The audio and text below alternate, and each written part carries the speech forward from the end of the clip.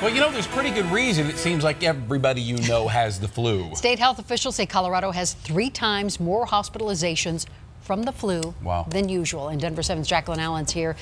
This year, the virus is spiking early, Jacqueline. That's right. You know, and it's hitting the Denver metro area particularly hard. The health department said it is worst in Denver and Adams and Boulder counties. And look at this. Compared to last year, clinic visits for the flu are going up much earlier in the season. You can see last year compared to this year already spiking. And that's especially concerning as we go right into the heart of the holiday season.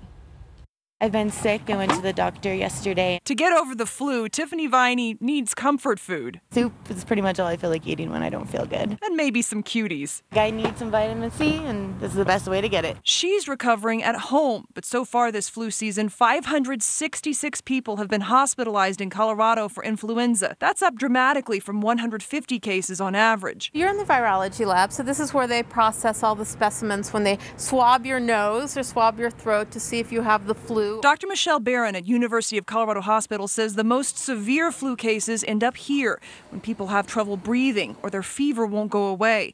State health officials say the H3N2 strain is particularly tough for older people. You're feeling fine, you're feeling fine, and then boom. To make matters worse, this year's season is peaking early, just in time for the holidays with relatives young and old. What do you do if a family member has the flu?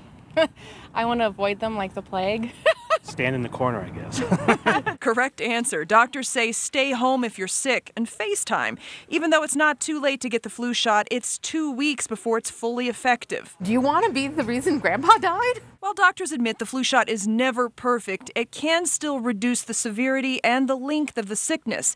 And we may see a second peak this season, something Tiffany will consider while she eats her soup. I think I'll get my flu shot from now on. I always deny it, and I've been really sick this year, and I don't want to do that again. Jacqueline Allen, Denver 7.